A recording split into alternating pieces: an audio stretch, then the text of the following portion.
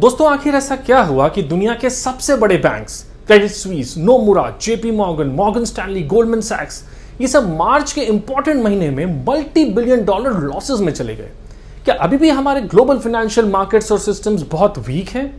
Bill Hwang नाम के एक शख्स ने अपनी फर्म आकिगोस कैपिटल मैनेजमेंट से कैसे पूरी दुनिया को हिलाकर रख दिया? आइए देखेंगे हम आज के इस वीडियो में।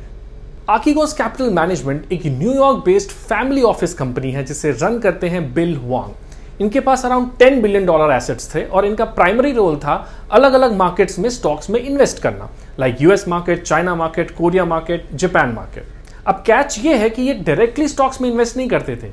ये किसी के कंधे पे बंदूक रख के गोली चलाते थे। ये बैंक्स को बोलता था कि आप मेरे बिहाफ पे इन स्टॉक्स में इन्वेस्ट करिए। उससे बैंक्स को क्या फ़ायदा होगा? बैंक्स के बैलेंस शीट में ये एसेट्स आ जाएँगे और जो प्राइस रिस्क और क्रेडिट रिस्क है, वो ट्रांसफ़र हो जाएगी आकीगॉस कैपिटल मैनेजमेंट में। और स्वैप अग्रीमेंट में इन्होंने एक चीज़ डिसाइड करी कि मैं आपको एक पर्टिकुलर कमीशन दूँगा। आपको ये कमीशन फ़ी दूँगा हर महीने और आप इसके बदले मेरे बिहाफ पे इन स्टॉक्स में इन्वेस्ट करिए। तो इसमें क्या हुआ? उन्होंने थोड़ा सा अपना मार्जिन रखा कि हाँ मैं इतना मार्जिन रखता हूँ, बाकी बैंक जो है वो इन स्टॉक्स में इन्वेस्ट करेंगे। अब असली खेल शुरू होगा जब ये जो स्टॉक्स हैं, जिनकी वैल्यू पे ये बेटिंग करते थे, उस बेटिंग का पोजीशन जो है वो रिवर्स होने लगेगा। ये सब हम देखेंगे एक सिंपल से एग्ज़ाम्पल को लेकर। स्टेप नंबर वन जो इसने स्वैप एग्रीमेंट बैंक के साथ किया था, उसे कहते हैं T R S that is total return swap अब इसके पास एक रेफरेंस एसेट है। फॉर एग्ज़ाम्पल वायोकॉम का शेयर है।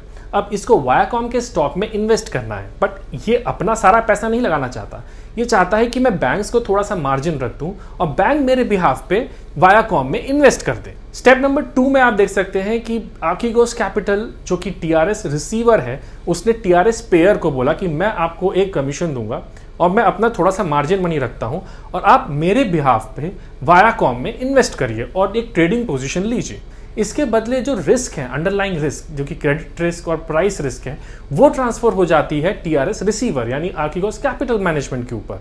इन केस सपोज़ इस एसेट ये जो रेफरेंस एसेट है, इसकी वैल्यू डिट्योरेट हो जाए तो टीआरएस पेयर जो कि बैंक है, वो मार्जिन कॉल लेता है और मार्जिन कॉल के थ्रू बोलता है टीआरएस रिसीवर को कि आप और मार्जिन मनी रखिए टू कवर द लॉसेस यही चीज़ यहाँ गड़बड़ हो गई। हम देखेंगे कैसे गड़बड़ हुआ। अब आर्किगॉस कैपिटल मैनेजमेंट आप ध्यान से सुनिएगा, एक फैमिली ऑफ़िस कंपनी है। यूएस मार्केट्स में एक फैमिली ऑफ़िस कंपनी को डिस्क्लोज नहीं करना पड़ता कि उसने किस स्टॉक में उसका कितना कॉन्सेंट्रेशन है। तो इस अरेंजमेंट से स्वैप अरेंजमेंट से बिल हॉन्ग ने क्या किया? अपना जो कॉन्सेंट्रेशन है अलग अलग स्टॉक में, वो धीरे धीरे वो बढ़ाता गया। जबकि बैंक्स और जो ब्रोकरेज फर्म्स हैं, उनको ये पता नहीं चला कि इस पर्टिकुलर फैमिली ऑफ़िस का एक पर्टिकुलर स्टॉक में कितना कॉन्सेंट्रेशन है। कुछ लोगों ने तो आफ्टर दिस फियास को ये बताया कि ये मोर देन टेन परसेंट जो है, वो कॉन्सेंट्रेशन था बड़े बड़े स्टॉक्स में। धीरे धीरे ये स्टॉक कॉन्सेंट्रेशन ये पाइल अप करता गया। और फाइनली जब मार्जिन कॉल की बारी आई तो इसने हाथ खड़े कर दिए कि भाई, मेरे पास पैसा नहीं है, आप मेरे जितने एसेट्स हैं, वो लिक्विडेट करिए। प्रॉब्लम अभी तक भी कुछ नहीं था। प्रॉब्लम तब आई जब वायाकॉम सीबीएस के शेयर होल्डर्स ने डिसाइड किया कि वो थ्री बिलियन डॉलर्स जो है, वो स्टॉक सेल करने वाले हैं so that they can focus more on their streaming business Paramount plus अब यहाँ पे क्या हुआ? धीरे धीरे बायोकॉम का स्टॉक जो ऑलरेडी काफ़ी ओवर और ओवर वैल्यूड था, उसका जो है प्राइस थोड़ा धीरे धीरे नीचे जाने लग गया। और आर्किगोस कैपिटल ने बेट लगाया था कि इसका प्राइस ऊपर जाएगा। तो ट्रेडिंग पोजीशन जो है वो रिवर्स हो गई। तो इस रिवर्स पोजीशन में बैंक्स ने क्या कहा कि अब ये लॉसेस कवर करने के लिए, भैया आप अपना मार्जिन मनी लाइए। तो मार्जिन कॉल इसे कहते हैं कि उसने मार्जिन कॉल दिया आर्किगॉस कैपिटल को कि आप अपना और मार्जिन मनी रखिए इस लॉस को कवर करने के लिए। और यहाँ पे बिल हॉन्ग ने हाथ खड़े कर दिए। तो बोला, नहीं, इससे ज़्यादा मैं और मार्जिन मनी या कोलैटरल आपके लिए नहीं ला सकता। अब भी कोई प्रॉब्लम नहीं हुई थी। ये अभी भी सिचुएशन सब ठीक थी। हुआ क्या?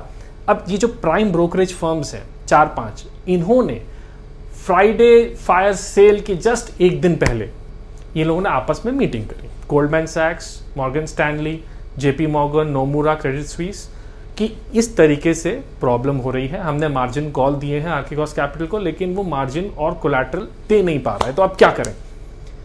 तो इन्होंने बोला था, ठीक है, इस प्रॉब्लम को हम धीरे धीरे सॉर्ट आउट करेंगे। इसको एक एक करके हम ऑर्डरली वे में इनके एसेट्स लिक्विडेट करेंगे ताकि किसी एक पर्टिकुलर स्टॉक पे कोई प्रॉब्लम ना आए। जैसे ही फ्राइडे सुबह मार्केट ओपन हुआ गोल्डमैन सैक्स ने सबसे पहले सारे इसके एसेट्स बेचना शुरू कर दिया। जैसे ही गोल्डमैन सैक्स ने अपना बेचना शुरू कर दिया ब्लॉक ऑफ़ ट्रेड जिसे कहते हैं, वो उसने बेचना शुरू कर दिया। सबने मार्केट में देखा कि वायाकॉम के शेयर प्राइस डाउन होने लग गए।